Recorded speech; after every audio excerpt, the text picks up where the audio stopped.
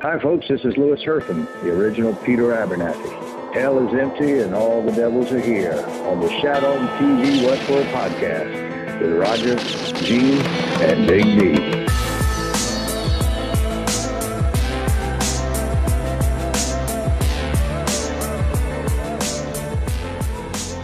Welcome back to Shat on TV Westworld, the unofficial podcast companion piece to the hit HBO show Westworld. I'm one of your hosts, Gene Lyons. Alongside me is my co-host, Big D, Dick Ebert. Good evening. So this is our deep dive edition where we look back on this week's episode of Westworld and provide our thoughts and analysis. Uh, you heard our Instacast Sunday night immediately after the show. Our Telegraph comes on Friday where we read viewer and listener mail. Uh, but this one is just diving deep into the topics that we discussed on Sunday and there are lots of them to get really deep into. This was a slower episode, uh, episode eight, Kiksuya. It focused mainly on the memories of Akicheta, the first of his kind. And I misjudged Big D. I thought the fan reaction was going to be very negative for this one, uh, in contrast to us loving it. But the fan reaction has been overwhelmingly positive. So bravo, Westworld. Yeah, I'm pleasantly surprised. Um, again, you know, there, has been some decline in the numbers of of uh, you know week over week of viewers. So maybe the ones that are left are the truly devoted, and maybe the ones who would appreciate uh, the story that they're telling. But yes, uh, kudos to you, fans of Westworld. I'm glad you weren't there just for the uh, for the nude bodies and uh, robot violence. Right. There were a few dissenters that said you could have slipped this stuff into just 10 minutes of a bigger episode, but I think we've had a lot of matters of science. We've had a lot of matters of mystery. This one was an episode that was matters of the heart, and it did touch on some other deeper topics that we'll get into on this podcast, including Maeve's mode of communication and which way that was working when in communicating with Akicheta, um, Ford's journey into night speech and what that was all about. Basically, this episode really reflected back on that uh, and the events uh, preceding that. Also, what exactly was going on with Logan. In the Instacast, we had some ideas, but now after a little bit of research, uh, consulting with some of our uh, medical expert friends and listeners, we got a better idea of what's going on there. And really, what was the heart of this episode is that that evolution of consciousness. Uh, we saw a different development of consciousness from the the typical loops that we had been examining for you know nearly two years now, and we're going to kind of look at that and see and see what this episode had to say about all those things yeah, a lot to uh, to delve into this episode, uh, and and for the ones who possibly didn't like it, uh, I just ask, when's the last time that this show made you truly care about a character so much? The emotional component is the core of the story. We're supposed to feel for the hosts. We're supposed to feel for the cast that we love. And some of the middle episodes where we felt we got a little lost, it was a lack of that emotional connection. And they stress that here, and it starts right off the bat so I think that's a possibly a great way to start here with Maeve and, and the conversation. Yeah. So a little bit of housekeeping before we get into the the deeper, meatier parts of this episode.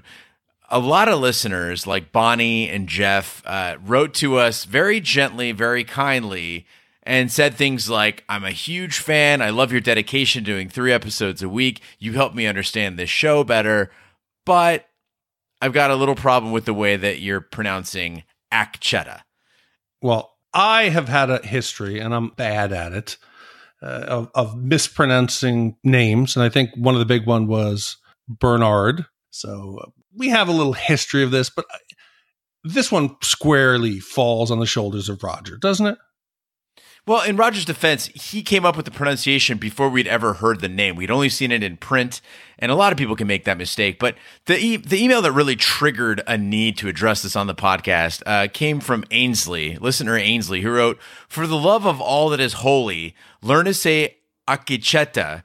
Before you record again, your constant mispronunciation is both grating and feels disrespectful. So I went back and, and watched the episode again, key parts where they were speaking to him in dialogue. And I noticed that the tribe seems to pronounce it Akecheta, and Ford calls him Akicheta. Kohana uh, calls him Aki. So what, what do you think we should go with, Big D? Aki is the easiest because there's no doubt. I tried to write it out phonetically, uh, and I, I know I'm going to continue to butcher it because it's almost impossible when you have a conversation on a podcast and it's just a you know a fluid you know chain of thought of consciousness that you're just going back and forth. I'm going to butcher it, so I'm going to stay with Aki. Yeah, Aki seems like an easy one. So from now on, we can agree it's Gremily, it's Aki, it's Escalante, it's Las Mudas, and we can just move on.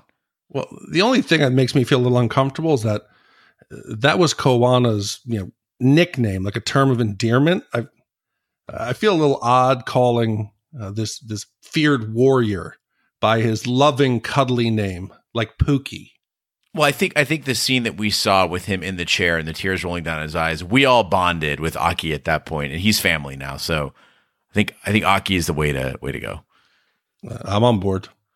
All right, so we said during the Instacast that there was clearly communication going on between Maeve, her daughter, and Aki, uh, but it was really hard to tell directionally what was going on there.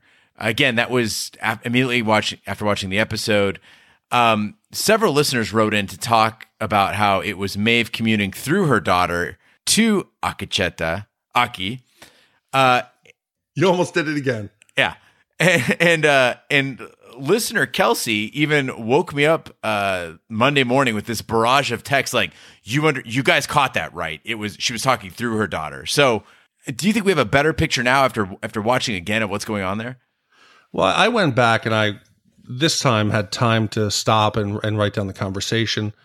I don't know that I agree. It's it's uh, Maeve communicating through the daughter as it, it jumps back and forth the first time that we we get a hint that Maeve is communicating, you know, out externally from her body is uh, when when Aki comes across the man in black in, in the river and he says in English, "I remember you." Uh, it then cuts to Maeve in the mesa with Sizemore. Her eyes are fluttering. Uh, so we understand that we're seeing a kind of a projected vision. Uh, so I think it goes back and forth. Sometimes Aki speaks for Maeve, then cuts into Lakota and he's speaking for himself. Then he's speaking in English to the daughter. So I don't think there's a clear, definitive line as to when it is who's speaking, only the times that the dialogue is specific to the character. So I was working today to put down on paper what it is that I thought was going on after after rewatching the scenes. And I noticed an email from a listener, uh, Jason Stollery, which I thought summed up my thoughts completely. And he wrote it beautifully. He says, uh, I think the basis of Aki's story is actually for Maeve, not the daughter. I believe that when she's connected to the network, she reaches out and watches her daughter, and he detects that. His use of language is a clue as well. When he speaks to the daughter, it is in English, but when he's speaking to Maeve, he is doing so in Lakota. We know that Maeve can speak Lakota based on the previous episode, but no indication that the daughter can. When he tells her that they're meant for the same path, she tells him that his leads back to hell. So he wants to explain his real story.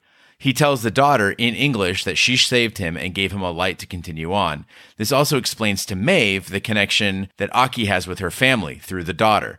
He speaks of misunderstanding intentions during the confrontation at the homestead, and that, in essence, is why he wants to ensure that she doesn't lose her one love as he did. This is why when Maeve tells her daughter in the flashback that she will protect her, Aki says in Lakota that that's a promise she couldn't keep, so he kept watch on her. It makes sense now why they kept flashing to Maeve on the table off and on, because she was listening to the story. And when she repeats the phrase, take my heart when you go, she's acknowledging his story and that she understands, and wishing him to protect her heart, her daughter. It's an important phrase to him that he probably mentioned several times. We should remember that the characters are hearing more than just the narration because we get the benefit of seeing the story. I also don't think that she can control or read Aki at all based on what seems like her inability to control woke hosts, and he seems to be wokest of all. There's also a, scene where in there where where Aki is directing his his dialogue to the daughter and he says, They took her from me again. He's describing Kohana. I saw through their lies. I would find her, but first I had to face the journey before me. You know the journey I mean. Do you think that's the journey that Maeve has taken to find her daughter? Or the journey that Maeve took from the the park, the the above ground Westworld, down into the uh, below and into the workings of the park? Which journey do you think he's referencing? I mean, I'm not sure, Big D. Actually, it's a really good question. Do you have any ideas on it? Uh, at first, I took it that it was the journey to find missing love. But the, the subsequent scenes is is when Aki is out. He goes back to the village. He has a conversation with uh, the the other elder female Lakota member about the ghost that she remembers they've been replaced. She references the the I think they call them the the ones from below and how in the religion some of the Lakota members wish they were visited, some don't. They're not sure some will return. At that point, he said he knew where to go, uh, and that was he allows himself to be stabbed by the cowboy, and he goes down into the body shop. Due to the sequence of it, I I think we're meant to, on the surface, believe it's the search for love because that's what the episode's about but the journey was to find out what was really going on in the park and the way to uh, expand your abilities and knowledge. Also, to touch on a point, I love that they took that moment with the stabbing to really focus on something that we've kind of lost sight of in season two because we've seen so little of the humans uh, mistreating the host. It, it was great to see a callback to season one again of these guys. They got the gun pulled, then they got the opportunity to to attack Aki uh, unarmed as he puts his blade away, and and and his friends, you know, encouraging him, and he goes for the the most uh, gruesome killing of all, right? The gut stab. And again, I think that that's important to insert that. It was very brief, but it was very critical to show A, the sacrifice he's willing to make, and knowing that that's what a human will do to him, and B, to remind us that there was a time just recently when the tables were turned and the hosts were not the, the apex predator and that and there was a history of their mistreatment. Yeah, and I think there's an interesting parallel that we start to see between Aki and, and Maeve. Aki, we, have always wondered what was it that triggered Maeve's uh, awakening because she never heard the reverie, she never heard the, uh, you know, these these delights. What was it that triggered? And turns out it was Aki trying to help her in return for the daughter saving him in his moment of need. That she, he wanted to give her the truth, but in you know the human or western culture the truth is obviously sometimes misunderstood. So he gives her the maze symbol. That obviously starts her on her path to when the daughter is killed. That was the trigger. So it's nice to see they're learning each other's shared history.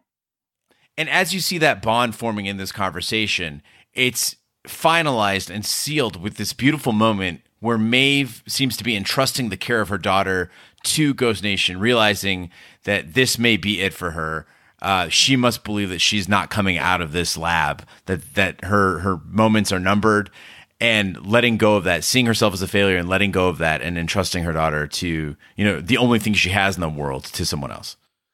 Yeah, and she she caps off the episode and the conversation with "Take my heart when you go," which was the the loving response that Kohana would give. Is this meant as the audience to know that she now has the full story? And that she's indicating that to to Aki, or that they're now almost family, that he's taken ownership of her daughter and, the, and they're one. I think it's the former. I wouldn't. I wouldn't go so far as the latter. Although he does invite them to, you know, her to find them if she ever gets out of there. But I think it's more just a, it's an acknowledgement that I know your story now. I understand your vernacular. I get it. The other important information that trans you know transfers there between the two is the knowledge now that Dolores is the death bringer and she'll be the end of us all. Uh, do we now think that with that information and Maeve is still connected out to all the hosts in the park, she can control them, she can assemble them, she can drive them in a direction? Now that she knows Dolores is the enemy, do we see this setting up for a final confrontation in the, in the last two episodes or in the finale? Well, some people have theorized that this is going to be a you know Jedi versus Sith sort of th- sort of thing. The the hosts awakened by love versus the hosts awakened by hatred. Again, that seems too simple. Every time we underestimate this show, they come back with something stronger. So I just don't I just don't see it happening. I really hope not. One bigger idea though that they do seem to explore here though is Maeve's ability to communicate through her daughter. Now I said that in the Instacast that it was probably because they they made the mistake of plugging her into the network, and so she was able to communicate. But that doesn't necessarily solve for the fact that the network itself is down. Now, granted, if she's got abilities far beyond the technology that they have, it could be that she can override that sort of thing. But there also could be a sort of a, a quantum connection between hosts. So if Maeve can has this one other entity that she can connect with, her daughter, and we've talked about pairing again between hosts. And if Aki, you know, he was able to make Kohana see just by talking with her and, and having her, you know, touch his his chest and having a moment alone with her. If there is a pairing like that, it does make you wonder who Dolores's pair is.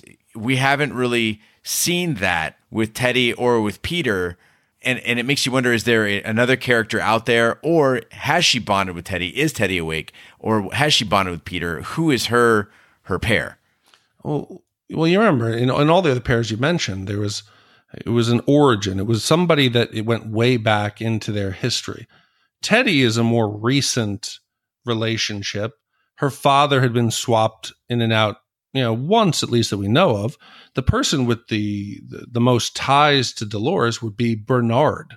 Mm-hmm. And if someone was going to bring that out of her and realize, I think he would be the one character. And when I mean Bernard, I mean Bernard Arnold, that combination, because even Ford says they have a strange effect on each other. Now, one of the benefits of hindsight when we do watch these episodes is getting to look back in the series and dig even into past seasons. And we looked back to Escalante. We saw the aftermath of the shooting at the gala. And that got me to thinking about the Journey into Night speech uh, that Ford makes. And we've assumed this whole time that Ford was talking about Dolores. But it seems like with this episode, it could be seen as Ford's speech was about Aki. Yeah, because we've always had somewhat of a problem believing that Dolores's actions were of free will. Bernard, you know, I think they're having a conversation in in the cradle, and he says, "You made Dolores shoot," and he said, "No, I didn't make her, but I I knew she was going to do it." So I, I, don't think that could be that first trigger that Ford describes in his new narrative, uh, which is a murder by choice. So I'm leaning away from Dolores. Right. The exact words in his speech was Since I was a child, I've always loved a good story. I believe that stories helped us to ennoble ourselves, to fix what was broken in us, to help us become the people we dreamed of being. Lies that told a deeper truth. I always thought I could play some small part in that grand tradition, and for my pains, I got this a prison of our own sins. Because you don't want to change or cannot change because you're only human after all. But then I realized someone was paying attention, someone who could change. So I began to compose a new story for them. It begins with the birth of a new people and the choices they will have to make and the people they will decide to become. And we'll have all those things that you've always enjoyed. It begins in a time of war with a villain named Wyatt and a killing, this time by choice, surprises, and violence. I'm sad to say this will be my final story. An old friend once told me that something that gave me great comfort. These violent delights have violent ends. And it goes on from there. Yeah, so the it begins in a time of war with a villain named Wyatt. Period. Uh, that is the time of Dolores in the Wyatt character and the first incident at Escalante. That does not require that the following statement, a killing, this time by choice, has to refer to the Escalante incident. Right. I'm, I'm leaning more towards that killing of choice was Aki realizing something was going on. He had learned about the people below and he makes the choice. And it's the first one we've ever seen of a host. And he, the choice was for him to allow the cowboy to stab him. Yeah, it could be. And Ford in this episode shows that he has an acknowledgement of how Aki is different. He calls him a flower that grows in the dark. And I started thinking about it and I was like, if I was Ford and I had seen and met Aki, would Dolores still be my big hope for advancement? Would this host that's still going about her loop be the one that I signaled as as she's the one that's gonna that's gonna change all this, or would my hope of seeing a conscious host reside with with Aki? Yeah, and and it just kind of crossed my mind that Dr. Ford's aware that Dolores is referenced as the Death Bringer. He has an opportunity at this point, since he knows not necessarily the future exactly, but he has a good idea of how things will play out since the host can't die, does this mean she is the death bringer to humans? That her role in this new narrative is to get out of the park? That Dr. Ford's goals could be twofold. One is to allow uh, the new people, which is Aki and the the woke hosts, and to eliminate the humans who he sees as not worthy, and release the Deathbringer onto the world. It would seem to be a possibility considering that they made Wyatt a, a military leader. It's not just Dolores on a on a violent tilt. That it, this is actually somebody who is capable and skilled at killing, and at least we're told at military leadership. Yeah, and I, I, that makes me rethink my thought earlier on here that Maeve and Dolores are now on a collision course because they could both be true. Maeve could work with the new people, and she wouldn't mind if if Dolores went out into the real world and made the humans suffer as long as uh, the hosts were allowed to thrive and, and develop and grow. One idea I did want to bring up though before we move on from from the Aki storyline is the possibility that I said during the Instacast that he is the most reliable narrator that we've had. And we can see that there was, in fact, an Arnold that was, in fact, killed. We see the history of the park through 40 years through his eyes and assume that his head wasn't fiddled with.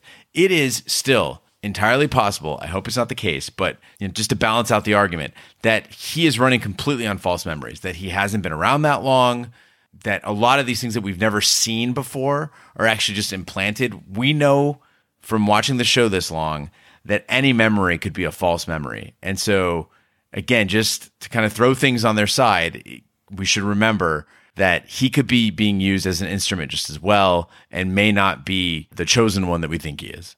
Uh, if, if if they were to do that, they would completely undo all the goodwill and the happiness that they've uh, gotten out of their fans this week everyone's loving it because we finally got a compelling story that you know cleared the deck. You said we need to know get some sure footing. Where do we stand? what, what is has happened in the history? And we're using this to with a lot of the pieces in place. If this turns out now that this is fake, you know, with the revelation of the cradle, alternate realities, multiple timelines, if they give us something that they demonstrate as as fact and we base our feelings on, only to show us that's a lie, I think they're in danger of, of losing people and the goodwill that they just built up with this episode.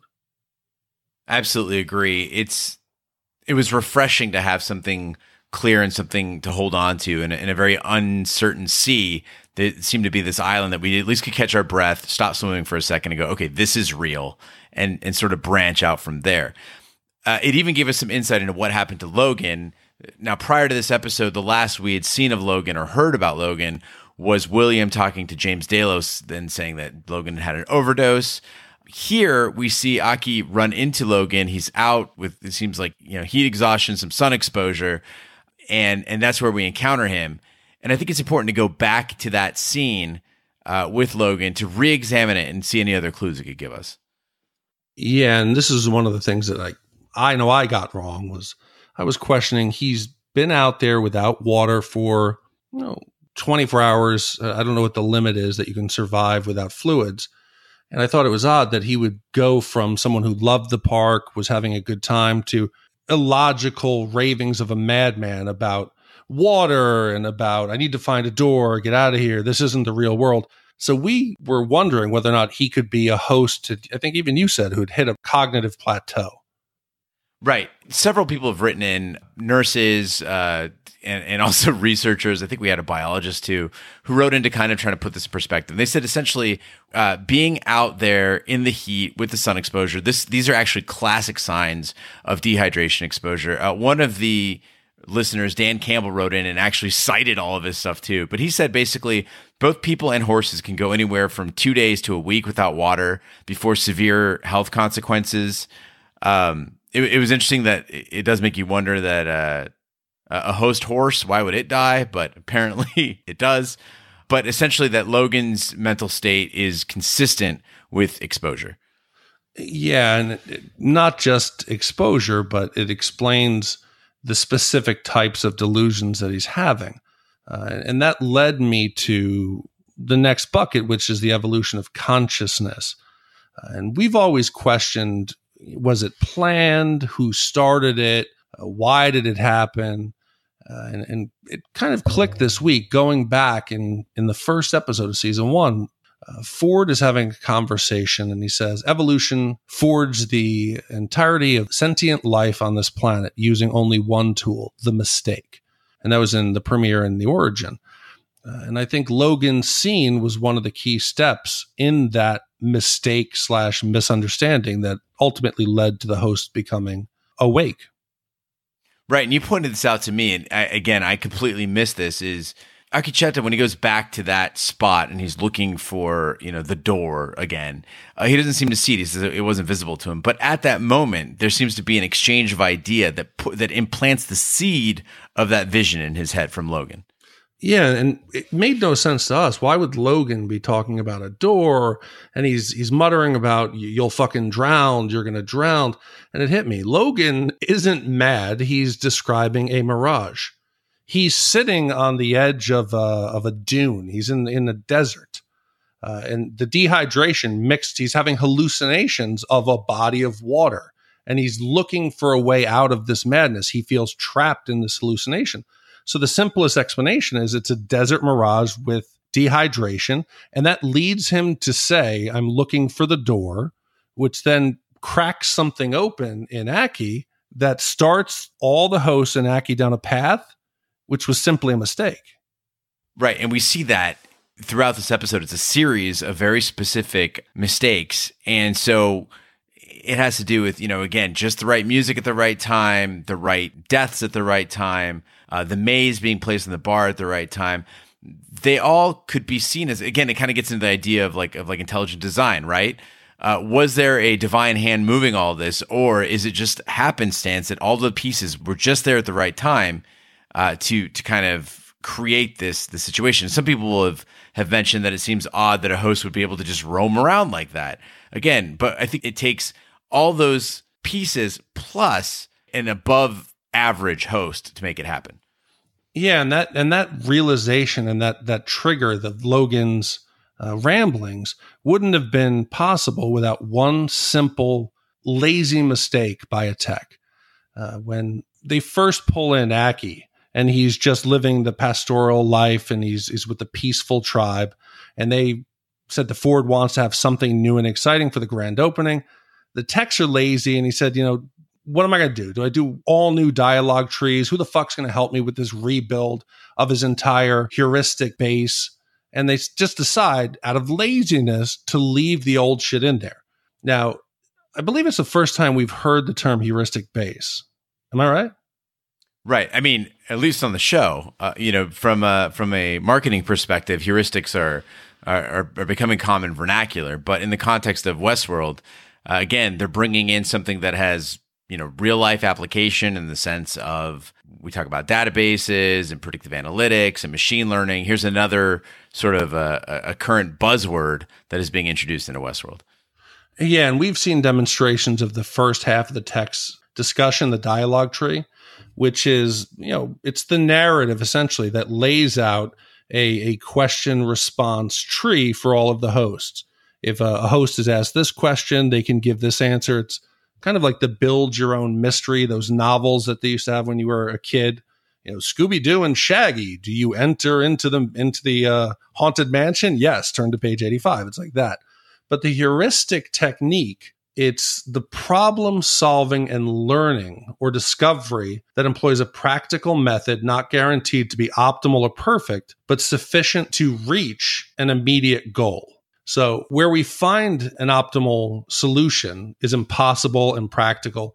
Uh, the heuristic method can be used to speed up the process of finding a satisfactory solution, allowing maybe that one original heuristic base built by Arnold in Aki allows for a new way of problem solving. And he's presented with something that's strange Logan on the tree talking about a door it causes his brain to start to develop new pathways and solutions in a heuristic manner that, that isn't present in all the other hosts.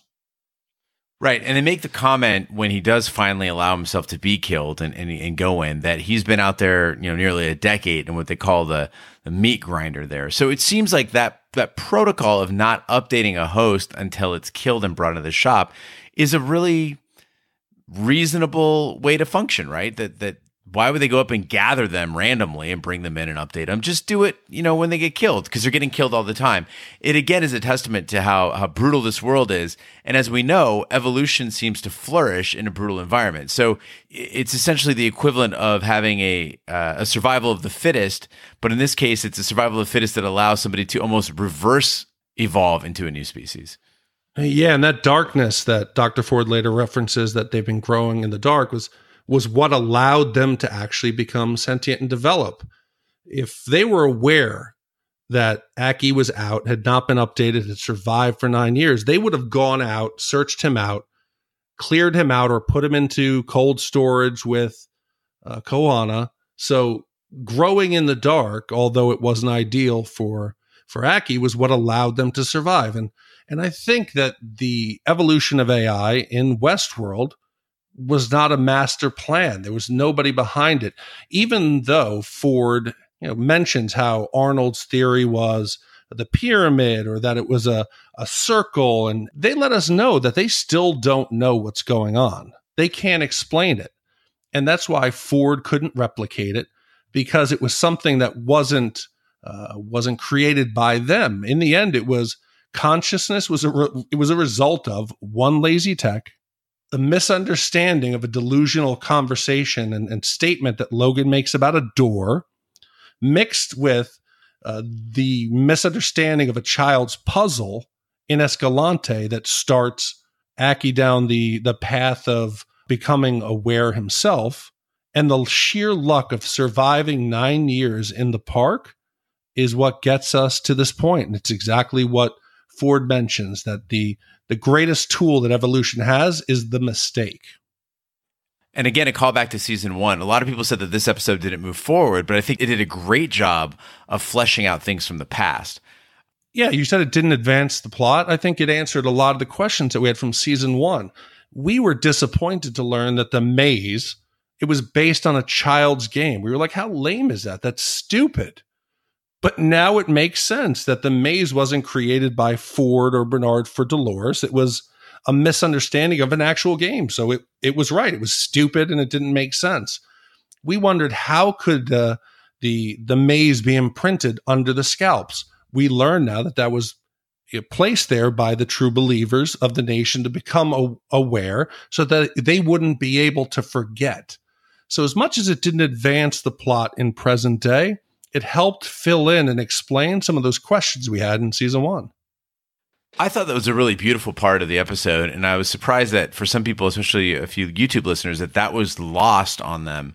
Was they were like, "What? So they're just tattooing it on the inside of their heads? What's that all about?"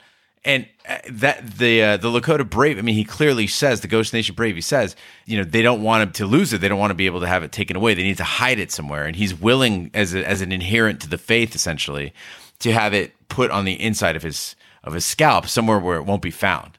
And and and that and that seems to ring true because after QA arrives, they're surprised to find it there. It's not like Delos was aware of this imprint.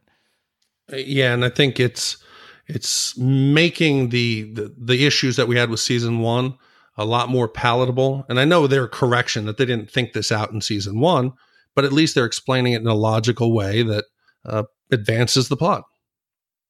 Another complaint about this episode people had was again Aki moving around freely inside of the mesa. Uh, in the Instacast, you guessed that possibly he had some inside help, that it was Ford kind of allowing him to move around freely. And I think there's a lot of evidence in that.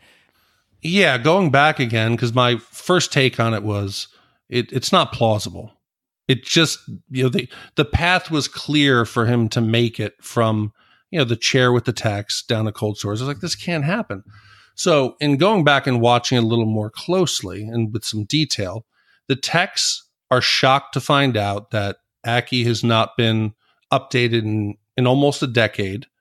And they call down the boss, and they're expecting the boss to immediately say, Hey, you know, you got to put this host in cold storage. Is we can't have this host out there.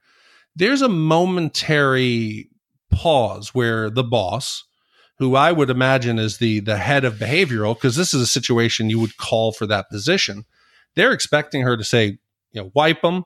She says, nope, just give him the updates and push him back into service. conveniently, immediately, the two lazy techs, you know, pre Sylvester and, and Felix, mention it's going to take four hours. Uh, let's go take a break.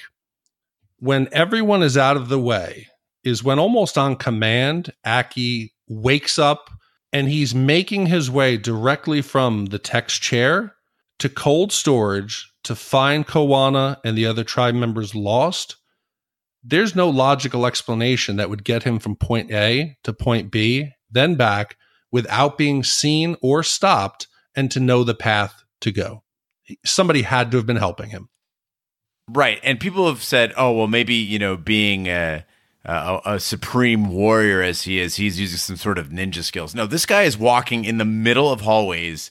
They're completely illuminated. He's not wearing any sort of disguise. Uh, and we've seen again through all of season one and season two, there are multiple layers of security, access codes. You can't just walk around. This is highly protected stuff. Cold storage isn't easy to access. It's not just out there in the open. So it is highly improbable that he would be able to make this journey, let alone know where to go, uh, without some sort of help. No, because you can be a great warrior out in the open plains and and combat in the the world of Lakota, but this is a foreign world. He gets on an escalator. Could you imagine a, a Native American from the Old West confidently navigating a futuristic glass tech chamber and then down an escalator? He seems like he's not questioning the world he's in. And that leads me to believe that that Ford, who says he's been watching him since the beginning, may have been aware that he was out there and decided to give a little push, but there's no way that could have happened organically. Right. Another thing that seems a little out of place in this episode was Ford's conversation uh, with Aki uh, in the middle of the night on that bear scene. Whenever a host is triggered to awake, because it's one of the commands, you know, they say Ford is the one who put us to sleep. Ford wakes up Aki and summonses him to a meeting. Did you get a vibe this could be VR or some kind of uh, other encounter that wasn't in the real world? it did have a surreal quality to it, the way that it was lit. Also, just the idea of Ford being out in the park at night by himself with a frozen scene, uh, getting his hands bloody, cutting the scalps off of hosts. Uh, it just seemed out of place. Now, every other time we've seen this sort of work done, you have teams come out, retrieve what it is that they're working on, and bring them back. Now, it might be that Ford was attempting to operate, you know, in secrecy and didn't want people in, to see him. And again, it looked like he was inspecting the scalp, so it would explain why he was out there. But something about it had a dreamlike state to it as well. Yeah, it's it's an implausible situation. You know, when when the text froze the scene with Rebus and and Walter uh, with the milk for growing boy in season one, it was the aftermath of a shootout. It made sense. There was some some guests that were frozen inside uh, the general store. Did Ford just happen to walk up at the point where a, a, a giant black bear or grizzly is on his hind legs, surrounded? It, it seemed like it was a staged scene for Aki less just a, a, random you know situation that Ford came up and, and froze all motor functions. That would have been believable if it was something around the campfire around camp. Was he trying to convey a message to Aki by staging this dramatic scene that would be familiar to him? Yeah, I didn't really understand it. I, I kept poring over it for the symbolism there, right? Just the bare meaning. And I'm sure we'll get telegraph emails explaining what it is, but I was more taken with the dialogue itself, the the notion of of Aki being this this flower in the dark, and then Ford showing sort of a a seemingly benevolent hand and giving him some guidance and helping along in understanding the world around him, and then giving that prophetic line of, about the Deathbringer uh, coming for him. I thought that it was it was beautifully written, and I was very moved by it, but I didn't quite understand the placement of every specific thing in the scene. Yeah, hopefully that's one thing we'll we'll get to see going forward. But uh, like a lot of the the rest of this episode, it was visually just gorgeous. It was some of the best cinematography, some of the best visuals that the show has provided us, and it leaves me optimistic for a final two great episodes in this season and season three going forward.